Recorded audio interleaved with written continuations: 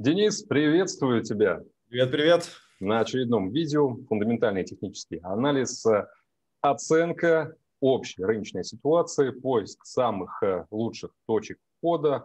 Ну, разумеется, друзья, это наше субъективное мнение, но мы очень стараемся э, вам угодить и подсказать, опять же, с тем, как можно действовать в моменте э, с позиции принятия торговых решений. Ну, у нас вот некоторое время назад с тобой уже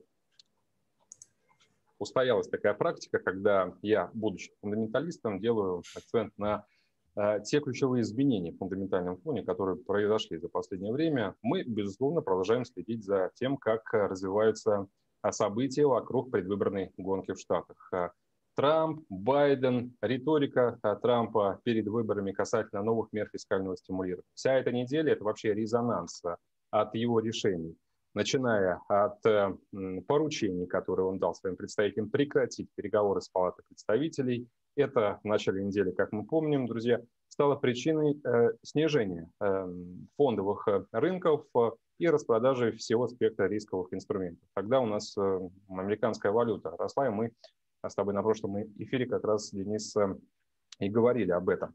Но ситуация очень быстро изменилась, потому что, видимо, советники Трампа ясно ему донесли позицию, что нельзя вот так вот жестко сейчас э, разбрасываться такого формата заявлениями, потому что ну, будет трудно выиграть выборы, если фондовый рынок будет валиться. И он, знаешь, э, быстро э, провел работу над ошибками вчерашнего заявления о том, что ну, не совсем правильно его поняли. Он не, про, он не хочет вести переговоры с Пелоси, с Палатой представителей, но он фактически за то, чтобы сейчас все-таки Э, перезапустили новые фискальные стимулы, не в таких объемах, как, э, возможно, хотелось бы супер оптимистам, но все равно не важно. Самое главное, чтобы деньги пришли на рынок. Вот его инициатива 25 миллиардов для авиакомпаний, 135 миллиардов для малого бизнеса, еще приличная львиная часть денег – это вот разовые выплаты, прямые выплаты э, безработным. Чеки по 1200 долларов. Это круто. Поэтому, друзья, как этот фонд в целом можно на долгосрок э, транслировать? Это, безусловно, поддержка для фондового рынка. Мы с Денисом вам неоднократно говорили, что очень перспективными могут оказаться позиции по NASDAQ, по Dow Jones и по S&P. Я предлагаю к демонстрации рабочего стола перейти и как раз вот покажу, что он. Да, давай как раз.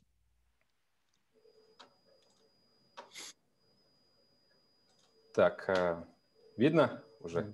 Сейчас подгружу. Да, все отлично видно. Так, вот как раз график S&P сейчас открыт. Мы двигаемся в рамках восходящего канала, друзья. И я почти уверен, то, что сможем улететь в район 3500 и выше. Но вот я еще предпочитаю работать с Dow Jones, поскольку он как бы индекс еще отстающий. А, по нему мы не выжили даже прежних максимумов, которые видели а, в начале 2020 года, но я думаю, что выжили. А, сегодня я предлагаю сделать акцент на инструменты, которые мы с тобой давно не разбирали, это фунт и э, золото. Вот э, можно начать с британской э, валюты, хотя пару слов еще все-таки скажу про индекс доллара, потому что очень важно сейчас понять, как и что с ним происходит. Индекс американской валюты, даже несмотря на то, что последние две часовые свечи идет отбой от отметки 93.50, все равно остается, на мой взгляд, уязвимым для дальнейшего снижения. Я mm-hmm. только что обозначил позицию того, что Трамп сам успокоил рынки, подтвердил, что какие-то деньги все-таки будут выделены. По фондовой секции мы видим то, что интерес к риску пошел. И, разумеется, нет оснований сейчас э, ставить на ну, какое-то долгоиграющее укрепление американской валюты. Доллар будет снижаться. Это нормально, то, что инициативы переходят от покупателя к продавцам. Рынок никогда не двигается в одном направлении. И, соответственно, индекс доллара я почти не сомневаюсь, то, что даже до конца текущей торговой сессии мы окажемся там ниже 93.50. Для риска что это значит? По идее, если мы продаем индекс доллара, то нужно покупать э, ну, ту же самую британскую валюту. Но, э, Денис, я здесь, э, пожалуй, займу немножко иную позицию с акцентом и учетом риска Брекзита, до которого дедлайн 15 октября, остается мало времени, когда Англия и ЕС должны все-таки согласовать торговую сделку. И я э, думаю, что очень много еще будет негатива сказано что спровоцирует еще большую волатильность по фунту против доллара, нежели ту, которую мы видели. И, разумеется, при негативном а, фоне, при плохих новостях касательно Брекзита, даже несмотря на а, возможность отработать идею слабости доллара, фунт может оказаться в числе аутсайдеров. Поэтому я посмотрел бы и рассмотрел бы возможность э, рекомендации продажи sell stop с уровня 1.2810. То есть э, это, в принципе, уровень, который лежит очень далеко от э, текущих котировок. Сейчас мы котируемся на отметке 1.2950. Но все-таки, если снижение по британской валюте пойдет э, на плохих новостях по Брекзиту, я думаю, то, что это снижение может очень быстро перерасти в какой-то новый локальный тренд, там 200-300 пунктов легко. Вот на этот случай как раз и будет э, рекомендация и конкретная сделка по продаже британца. А ранее мы, кстати, говорили про евро. Друзья, напоминаю то, что по европейской валюте здесь все предельно просто. Отыгрываем слабость доллара и, соответственно, по евро ждем движения выше отметки 1.1850. И что касается золота, вот э, Жаль, что у нас не было возможности выйти с тобой как бы на записи э, этого видео пораньше, когда котировки были там на отметке 1 Эм, точнее, 1885, потому что я вот здесь локально чертил эм, фигуру, э, ожидал пробоя вверх, в принципе, это произошло, сейчас котировки 1891. Я предлагаю дождаться отбоя, там, возвращения в вот этот клин, соответственно, к отметке 1885 и уже потом ставить на дальнейший рост. Здесь вот есть э, локальная линия тренда, я думаю, что ее сломать сейчас будет очень трудно. То есть э, покупаем на небольшом снижении и покупаем, потому что мы ставим на ослабление курса американской валюты. В целом по фундаменту ничего не изменилось, друзья, чтобы я отказался от тех рекомендаций, которые давал ранее. Денис, слово передаю тебе. Так, хорошо, слово взял, демонстрацию рабочего стола запустил. А, смотри, здесь сегодня у нас с тобой по фунту немножко все-таки разное мнение. А, да, я прекрасно понимаю тебя, почему ты говоришь по поводу Брексита, 15 октября, но опять-таки, там, насколько я помню, вчера выступал уже а, Джонсон, говорил о том, что, скорее всего, сроки опять сместятся, что сейчас некий, некая будет заморозка вот в плане обсуждения сопляжуйство, по-другому уже просто не могу назвать ну, весь да, процесс да. Брексита. Вот. И а, я склоняюсь к варианту, что пока что на данный момент, с учетом чисто вот технической картины, даже если отбросить э, фундаментальный фон, а брать именно чисто техническую картину, то я больше склоняюсь к варианту, что все-таки движение вверх у нас является приоритетным, тем более, как ты уже э, упоминал сегодня индекс доллара, который ждешь на снижение, да, то да, аналогично да. я жду здесь на продолжение роста по фунту. Кстати, точно так же, как и по евро, но евро пока в сделку не входил, точнее ее проспал. В буквальном смысле этого слова, очень рано было, я действительно ее проспал и лимитку не поставил, то по фунту здесь все-таки вчера вскочил, в покупке. И планирую сопровождать их, ну, как минимум, вот район 1.3050, это самая ближайшая цель, э, такая чисто локальная, я бы ее даже так назвал, вот она от этого уровня идет и от внутреннего накопления – а следующее уже по маржинальной зоне выставил. Вот, так что ну, я лично больше советовал бы э, пока присмотреться и склоняться все-таки а, все-таки в сторону конкретно покупок. Вот, потому что на, на пробой данного уровня работать, э, ну, может быть, честно, крайне рисково. Лучше пускай хотя бы здесь сложный перехай какой-нибудь дадут с кульминационным объемом, а потом уже можно будет рассмотреть. Ну, я в любом случае пока придерживаться буду своего мнения именно на продолжение роста по фунту.